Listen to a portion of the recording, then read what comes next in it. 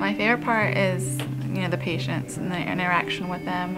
I love that age group, the, the youth, so being able to just build relationships with them and see them fre frequently, you know, every month to two months, and just building relationship with them is my favorite thing. As their smiles are transforming, they're also growing up too, you know, because we see them for a lot happens in a year, you know, you, you see their befores and afters, and they're these little kids that are just like shy and they don't want to smile.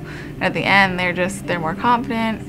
Their personalities have grown so much and it's it is it's a huge huge change.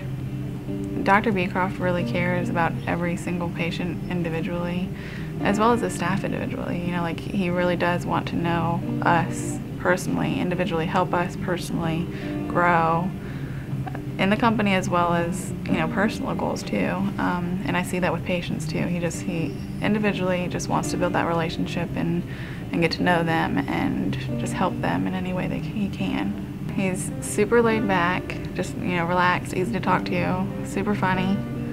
Um, he knows something about every sport possible. You know like he sits down with the, the boys and he's just if he, they play soccer he's all into it.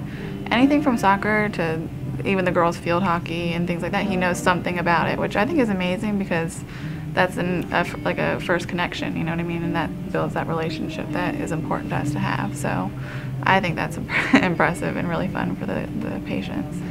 I just hope that i can be a positive influence. If i one one patient a day i was a positive influence in their lives made them smile made them have a new perspective on something then i had a good day